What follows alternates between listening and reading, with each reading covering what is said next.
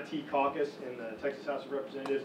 He uh, cares deeply about this industry and the jobs that it creates and good things that, that y'all have, are doing and have done.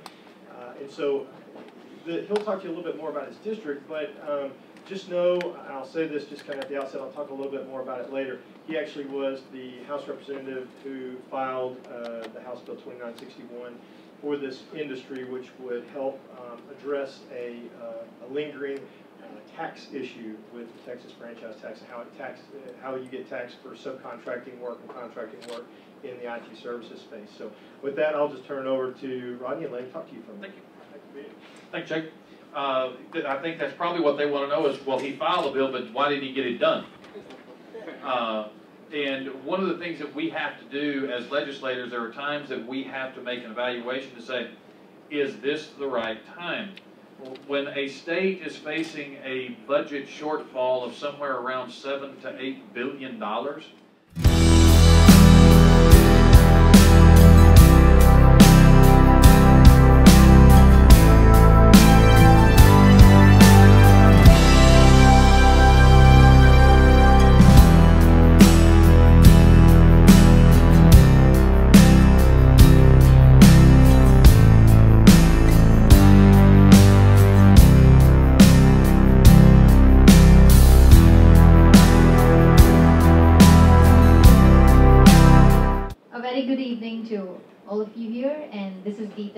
from AIS, Advanced Insurance Services.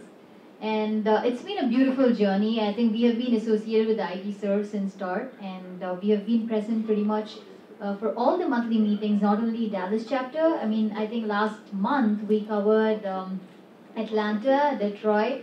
So we make sure to, you know, be there for every monthly meeting and uh, also, you know, be a part of it.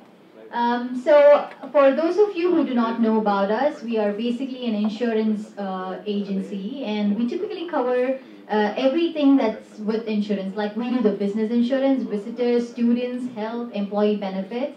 We typically work, I mean specifically, we concentrate more on employee benefits. Um, so we have a huge clientele. We have been here for over a decade now and uh, uh, uh, we, we are doing very well and I'm sure, you know, the clients who are with us, uh, you know, a lot of them are happy.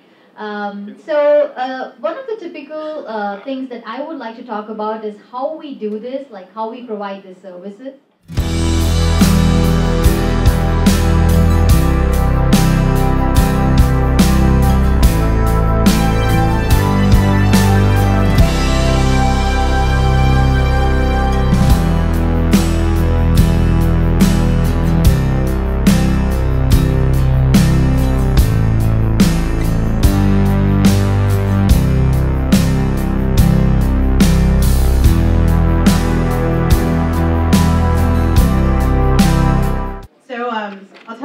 Joke, or I'll ask you to, to see if you can answer. Uh, some of you seem a little sleepy back there, so. Um, so here's my joke, and I'm not a very good joke teller, but it's this. How many developers, software developers, does it take to change a light bulb? Come on, any guesses? Two. Two. None? None, that's right, because it's a hardware issue.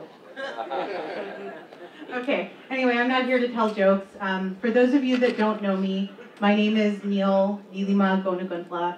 I'm the president of the U.S. India Chamber here in Dallas, and I'm here to share a couple of quick events that are coming up with you that I think would be really valuable if some of you attended. The first one is coming up on October the 4th. It's a Wednesday. Um, it's a, a business development uh, conference for small businesses. And I think almost everybody in this room falls into that category. If you have less than $1 billion in revenue, less than 1 billion, you are considered a small business. So let me tell you why this conference is important.